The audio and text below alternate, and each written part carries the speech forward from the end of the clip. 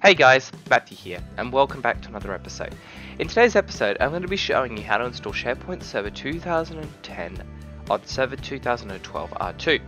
Now, the reason I'm doing this is purely because of um, I am I'm not able to use SharePoint 2013 or 16 due to some uh, hardware uh, requirements that I did not meet, as well as that I did actually do um, a test with it. Um, and personally, I actually like SharePoint 2010 a lot more. Um, there are some downsides to SharePoint 2010, but honestly, I would use it in today's standards. Um, purely because of the hardware requirements that it gives, it's actually very useful. Um, I'm also actually recording on my laptop today as well, if you haven't realized, uh, my ThinkPad. Um, so we're going to set this up, and this is all going to be inside this machine, and we're hopefully going to access it from another computer. So first thing that we need to do is go ahead and install Server 2012 R2. Um, I've given this system 2 cores and 4 gigs of RAM and that should allow it. Now the thing is right, this thing is using 4 gigs of RAM um, as a virtual machine. But the thing is, my ThinkPad's got 4 gigs of RAM. So what I'm actually doing is it's emulating that memory um, using the hard drive space. It's pretty clever how it works with VMware. So the first thing I need to do is obviously go ahead and select the language, which is Australia. We're going to install that. Obviously, you guys have probably seen this a million times now, me setting up Server 2012 R2, but I also have to do this for uh, my TAFE course, or effect course. Um, uh, I'm creating a user documentation, so this is actually something as well that I'm planning to do and develop. Um, and I'm actually going to be doing this as a live stream as well, um, and hopefully I'll have the video up um, on the for the 23rd because I want to actually uh, show you guys some because I was building a PC in Minecraft with a real physical that like actual in the green screen. It was so cool how it worked. Uh, but anyway, now I'm going to install Server 2012 R2 standard evaluation and this is the 64-bit version. As you can see, Server 2012 R2 has not been used. In fact, a lot of people are moving over to 2016. Um, in fact, the course that I go to, they actually use Server 2008, which is actually quite surprising. Um, I've actually never seen them using uh, using a system that has uh, 2008 because apparently it's obsolete or something. So no idea about that. But anyway, as you guys can see, I'm just going ahead and installing Server 2012 R2. Um, I'm not sure how long this is going to take, so um, I have no idea myself, uh, but hopefully it shouldn't take too long. I'll be back when it's finished. Okay, so the installation has just started uh, finished, sorry I meant, and as you guys can see we're all good to go and we're doing pretty well. So now all we've got to do is just finish up and then we should be good to go. We're going to first rename the computer, uh, assign it a static IP address, then give it a um, server name, uh, then we're going to uh, uh, put it to the domain and then finally set it up. So pretty much that's the simple, it's really simple to install once you know what you're doing, but you might also come up with a bit of an error. There is a hotfix error that Microsoft no longer supports, but there is a workaround with that. I call it a bypass, um, and that's how we're going to do it. So we're going to bypass the hotfix error uh, using a special error code. Uh, uh, batch file that was made by, I can't remember his name, I think it was Steve. Um, and he has a website which I will link in the description to all the necessary requirements. There will also be an install guide like um, in the description so I've written up a tutorial guide on how to install it uh, in the description below if you would like to have a look at that. Um, so yes, other than that, uh, we're just going to let it boot up. It might take a few minutes because it's obviously got to get devices ready and things like that. So once it's done that, I'll be right back. Okay, so now that uh, Windows Server 2012 R2 has rebooted, done a few of its fancy little heavy-duty thingies, we are good to go. So all I'm going to do now is go ahead and put a password in. Um, and this is the local administrator password. We haven't assigned this to a domain yet, but once I do... Oh, oh come on, Matt. You should be better than that. Right, let's put the correct password in. Put the password in. Beautiful. Finalizing your settings. And then all we got to do is do Control Alt Insert on the keyboard. Do that. Now we've done the Control Alt Delete command. We're going to now prepare it. It's going to have its little box up here somewhere uh, to say that it's getting itself ready. And then once we've done that, yeah, there you go. There it was. Um, and once we've done that, we're going to go ahead and oh, hang on, let me move this. And now what we're going to do is we're going to go ahead and uh, set it up. Um, that way we can Uh, so what we're going to do now is with the system's all good to go, it should see the domain home.local, which it has. Beautiful, that's my domain network. And what we're going to do now is we're going to set this up and it should allow us to connect. Now apparently OBS is having some issues with recording, which I don't like, but uh, we'll just have to deal with it. Okay, so now that this is connected, I would typically go ahead and install VMware tools, but because um, I don't want it installed because I'm actually going to sysprep and clone this with uh, MDT. It's going to just be a bit too tricky. So I'll just give it the good old 1920 by 1080. Beautiful. Alright, so as you guys can see here now, we've got the evaluation for 180 days. Um, and we lost a few frame rates there again. Um, so now what I'm going to do is I'm going to go into Server Manager. Yeah, this is horrible. The, the, the quality of this is horrible. Well, the, the, the capturing of it is horrible but I'm just trying to do my best as I can. So, what we're going to now do is I need to configure this local server, if this is going to work. I need to change the computer name. Now, I'm going to give this a, uh, a computer name called SP1, uh, which means SharePoint 1, and then also connect it to the domain. So first off, SP1, I'm going to put it to the domain home. Now, usually I'd have to, I'm going to just do this now, I'm going to go into my domain controller. Okay, so I think we're recording, but I'm still getting high issues again with the recordings of uh, the encoding, and it's just a bit of a pain in the neck. Uh, let's have a look at the encoding. Because I'm using all system memory for this computer, so that's well. So now that I'm on my main system, we're going to now hopefully, we're going to remote into the server now. I've called it SP1, and hopefully it should see it on the network. Bingo, I can now configure it and log in.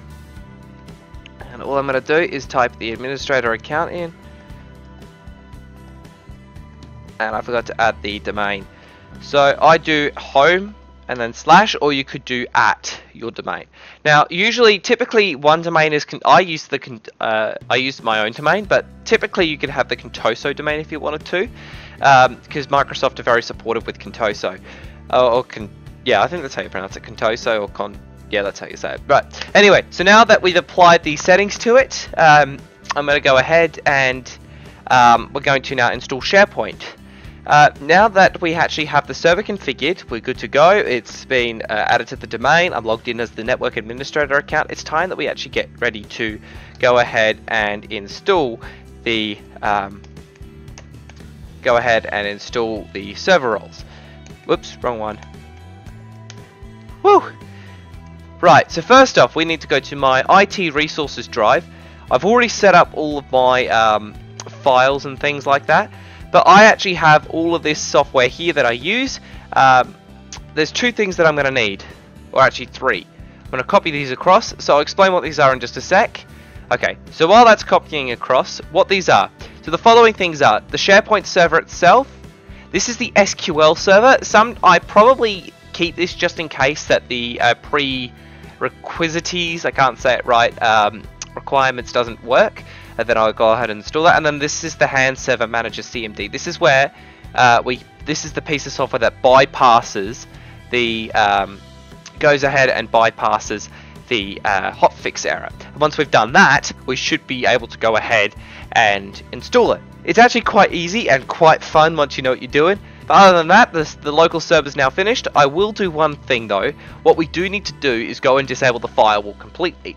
And the reason for that is because um, if you have the firewall enabled, there can be some issues with the computers talking with each other. So what I do is I go ahead and turn everything off. And the reason for this is because I actually have a, another firewall that I actually use. I actually have a, I can't remember what it is, it's a Netgate or something on those lines. I've had it for so long now. And it is a ridiculously good firewall um, and that's how I protect our network. So, first things first, uh, what we're going to need to do is we're going to need to grab this little server manager CMD command. I'm going to need to go into uh, local disk, uh, Windows, System32, then we want to just paste it directly in there, like that. Beautiful, so that's now copied. Now we need to run the SharePoint installer. This shouldn't take too long. We're going to run it and then hopefully we should be good to go. Now this is the SharePoint Foundation version and the reason for this is because SharePoint Foundation is actually for free. You just need the requirements like Server 2012 R2 to run it. Um, you can't. I, apparently, people have managed to run this on Windows 7. I'm not sure if that's correct, but I'm using Server 2012 R2. So first thing that we need to do is go ahead and install the software Prerequisites. I think I said that right. And as you can see, it's going to install the following things like your um, application server, your uh, web server, uh, your SQL server, your sync, and all that kind of good stuff. So all we're going to do is accept the license agreement. Then all we got to do is just wait for it to install. So, I'll be back once it's... Well, actually, you know, I might just leave this and um, I'll fast forward it. So hopefully, fingers crossed though, that I've been recording through my Logitech microphone. Because if I haven't, I'll be absolutely annoyed. And you might just hear the fan spinning and then the video will just be awful and I'll have to restart it a whole over again. Right. I've just got to pause the video quickly just to see if I have recorded it. And then I'll be right back.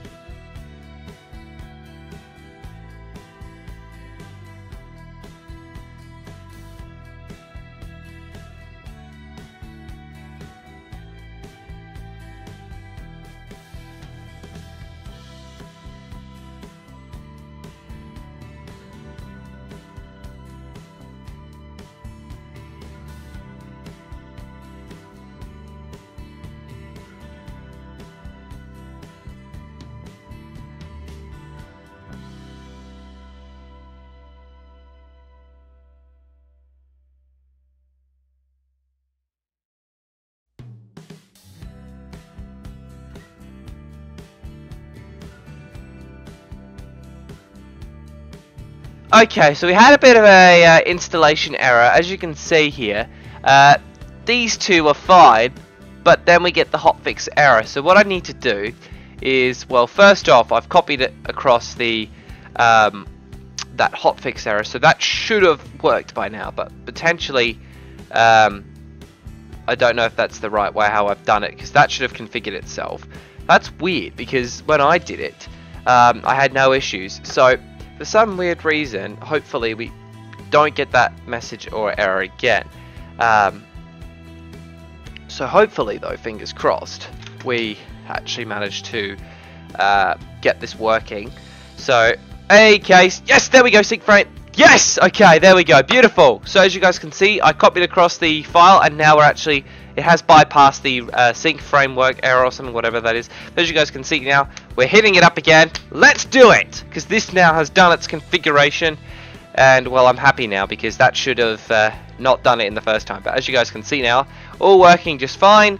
And I will be back once this is all finished and installed. Okay, so after about half an hour, we're all successfully installed. As you can see, something else already was installed, and equivalent products were installed. Beautiful. Now that we've finished that, we can now go ahead and install the SharePoint Foundation. This is getting easier and easier and easier. Before then, I had a lot of issues. Um, oh, we have to restart the system. Okay, well, let's do that then. That I've never had to do that before. Oh well, we should have it installed hopefully because well, as long as the pre-requirements are installed, then we should be good to go. Oh yeah, by the way, we should reply to a few scam emails sometime. That'd be fun. okay, I have a question for all of you. Have any of you guys seen this James, whatever is, uh, James, uh, what's his name? James Verdict, I think it is. Oh my goodness, he is so funny. Right, anyway, let's now do a step. So we're going to uh, now go ahead and install it. So obviously we accepted the terms and conditions. Now we're going to click standalone. Um, and all we got to do is just literally let it install. That's all we got to do. Nothing else. That's just literally all we got to do. How funny is that? Oh wait, it is pretty funny. Um, but other than that, uh, once we've done that, as you can see, it's going to install it. It shouldn't take too long. But it's then got to run through a few checks. It's got to run through a few, um, yeah, through a few checks and a few of things like that. Now, hopefully the database should be configured by itself. If not, then uh, don't panic because I fortunately do know how to do that, but that should not be the case because when I install it on my server, we shouldn't have any issues.